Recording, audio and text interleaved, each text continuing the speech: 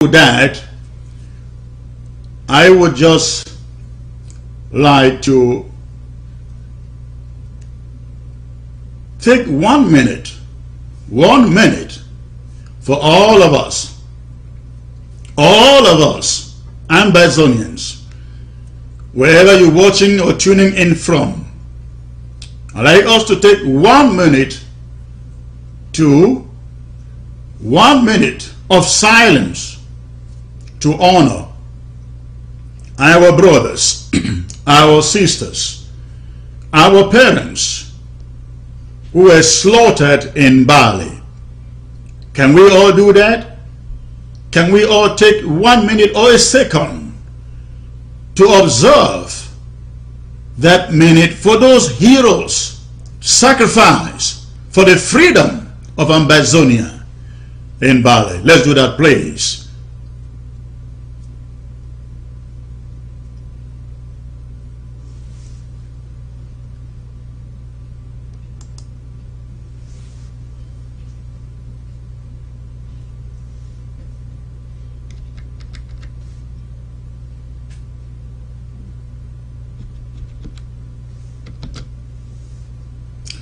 Thank you, thank you, thank you so very much for doing so. I have no, uh, I have no reason to keep you any longer waiting for this presentation.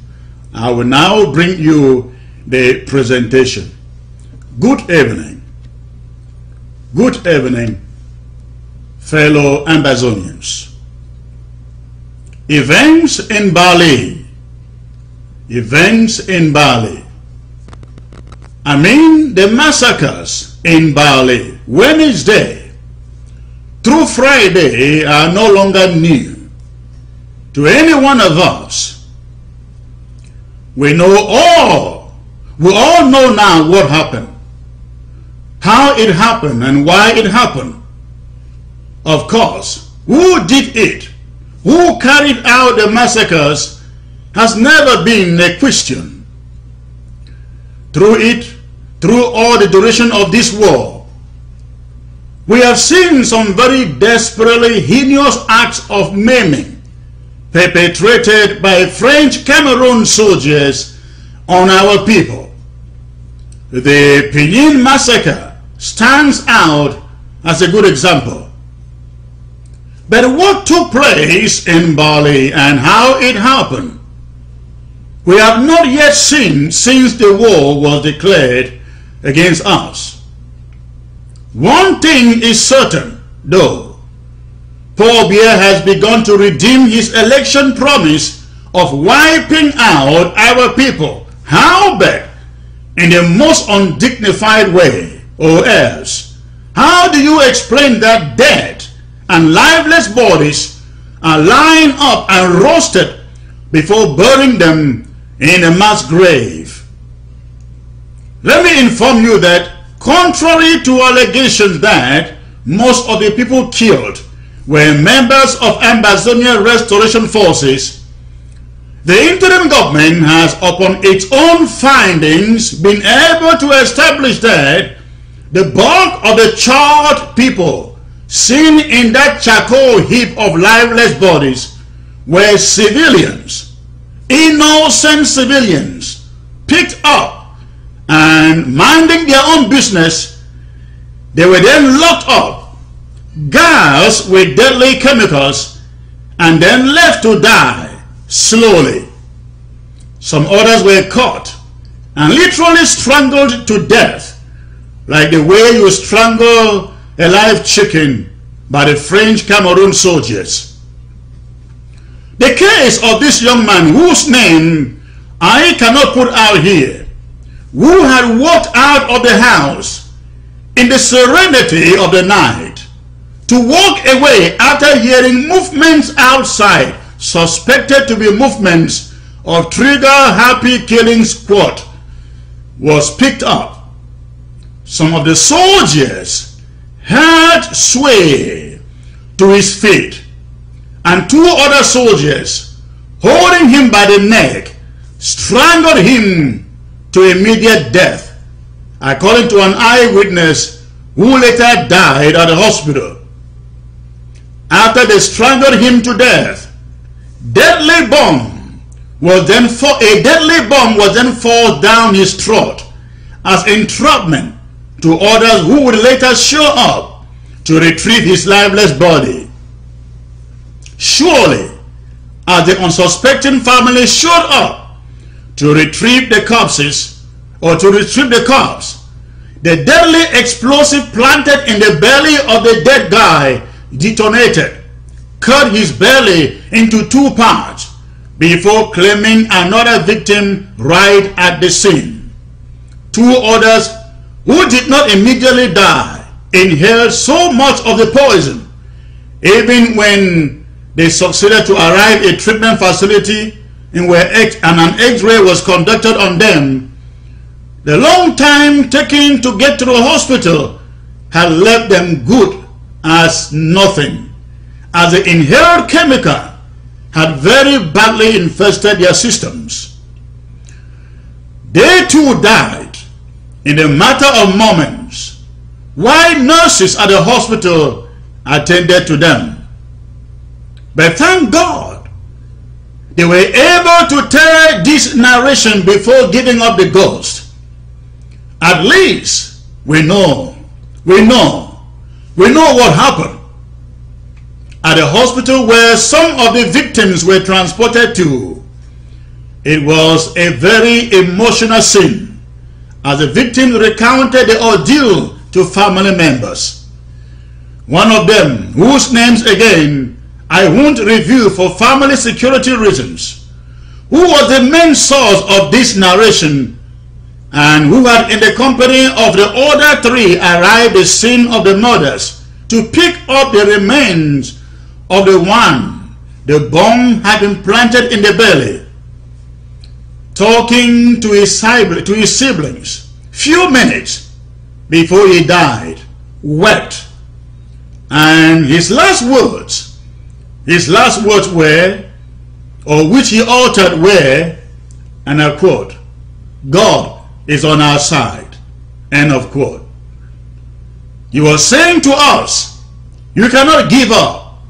You cannot surrender. Fellow Ambazonians, make no mistake. The Cameroon army planned the Bali massacres and made sure it was surgically executed to the letter. They knew that for the operation to go on successfully, communication in the community must be shut down. So, three days, three days before they carried out the assassinations, electricity from all of Bali, in all of Bali, was shut down. Before the phones, the phone network was also shut down in Bali. With this under their control, some elites of Bali, both in La République du Cameroon, in Ambazonia, and in the diaspora, who were collaborating with the soldiers, leaked out word that the slaughter was ready. The venue was ready. The people were ready, they said. And so they conspired and betrayed innocent civilians, thinking that all the victims will turn out to be members of the restoration forces. Yes, Bali elites, both home and in the diaspora, have a hand in the burning of their own people. And on behalf of this interim government, I must assure them they shall not escape the wrath of remaining Bali people and that of this interim government.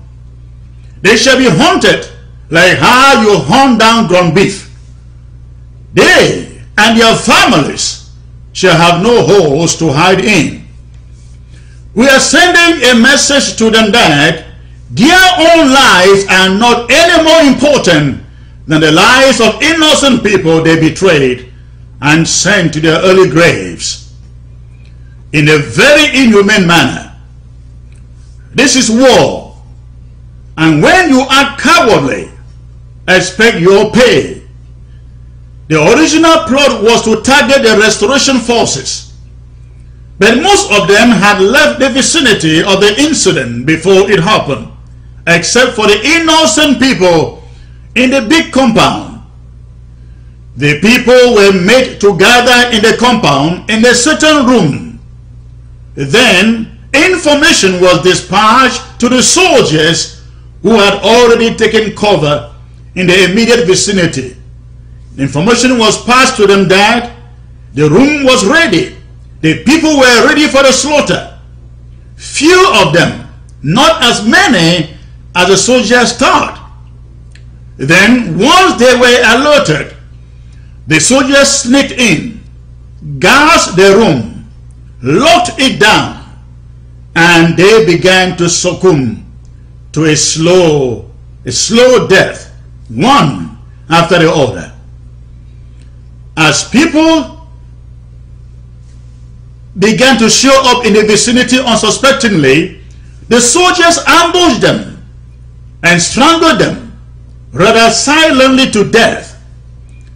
You can tell from the first photograph that came out from that, from that, from that location that there is hardly any traces of blood on the bodies of the victims. And equally, there are barely any wound, any bullet marks or wounds on their bodies. That is to confirm the narrative that they were all gassed, some strangled before burned to cover up evidence of the method of the deed. However, whether they succeeded or not to cover the evidence remains entirely on what the media, the international media, human rights organizations, and the international community would care enough to carry out a thorough investigation. For all intents and purposes, that is what happened in Bali.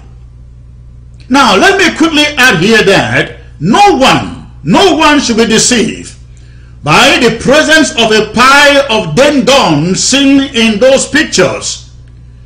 First of all, the photos were taken and circulated by the very soldiers who carried out the massacres.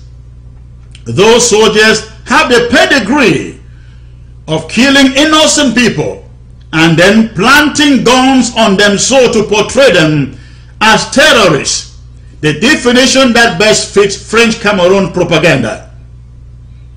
Let me pose this question to anyone who would care to hear. Tell me how does a dying person or a dead person lying flat on his back with hands scattered in multiple directions have a gun, have a gun lying on his chest when he is dead and gone? How is that possible? Isn't it only a person who is alive who would do that? That is exactly what the French Cameroon soldiers have become known for. That is how they are killing innocent civilians and then planting guns on them so as to qualify everybody, everybody, boys and girls, men and women as terrorists just to serve to the world how every Ambazonian is a terrorist. Now, in the past, French Cameroon officials have always, always wanted to label us all as terrorists. They are implementing every trick in the book to accomplish that agenda, that label. Unfortunately, the world's media, the BBCs of the world, the CNNs of the world, France 24 and Al Jazeera's of the world are aiding and abetting the scheme of La République du Cameroon. They won't cover the story as it is. They won't say anything. The United Nations, the EU, the AU, among others, won't say a thing either. We recall that only about three weeks ago, a group of secondary school students were abducted in Nkwen, Bamenda. The BBC and all these other media houses were all over the story. They took the narrative from the French Cameroon government and ran with it. But here we have even a worse situation. A situation where 37 human beings are trapped, killed, and burned like logs of wood. Where is the BBC? Where is CNN, Al Jazeera, France 24, Reuters, and the Associated Press? Where are they covering the story? Had it been, it were so-called terrorists who killed that Republic of Cameroon soldiers, wouldn't this story have been all over the international media, making the headlines? It's a shame that the so-called United Nations, with a, with a permanent representative on the ground, will sit and watch this genocide perpetrated on with impunity on innocent people and say nothing, absolutely nothing. Fellow Ambazonians, we must from today, from today, take some very, very drastic measures aimed at protecting our own interests and our own people. Nobody will do it if we don't. We have learned that the United Nations is in the territory distributing so-called humanitarian support. This is the moment. This is the time that will tell the United Nations mission in our territory that we do not want their food and clothing. Our people in the bushes need homes and security. They want to return to their own homes, at least for those who still have homes. What our people need from the United Nations now is peace. It's a peace. It's a peacekeeping force. And if the United Nations won't send one, then it is as good as nothing. And they should leave our territory with immediate effect. We are tired of their hypocrisy. They take food to our people to feed them, to feed them fat. So they get them out of the bushes, only to be slaughtered, and the United Nations says nothing and does nothing. This is the height of international hypocrisy and conspiracy. This is the moment to confiscate anything and everything United Nations has on the ground in our territory. Every United Nations official or piece of equipment that is seen moving or standing anywhere in Ambazonia must be hurriedly, and I mean hurriedly, confiscated. Just imagine if this crisis was happening anywhere else in the wide world the United Nations would have done something since the crisis began. Hell no. This is Africa. This is the black continent. Let them kill themselves. Who cares? So the United Nations is saying to what is going on in Cameroon, in Ambazonia. Fellow Ambazonians, we must start to confiscate everything United Nations in our territory.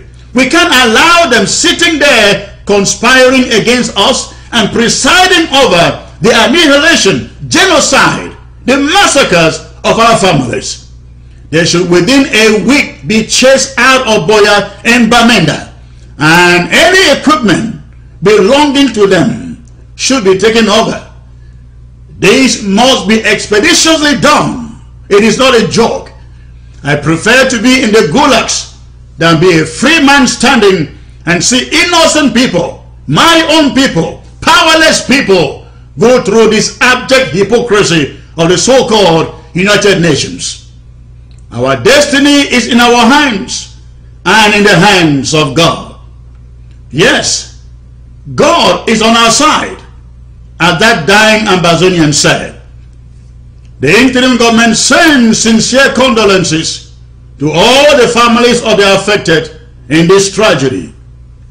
We shall always always remember their ultimate sacrifice for the freedom of our country.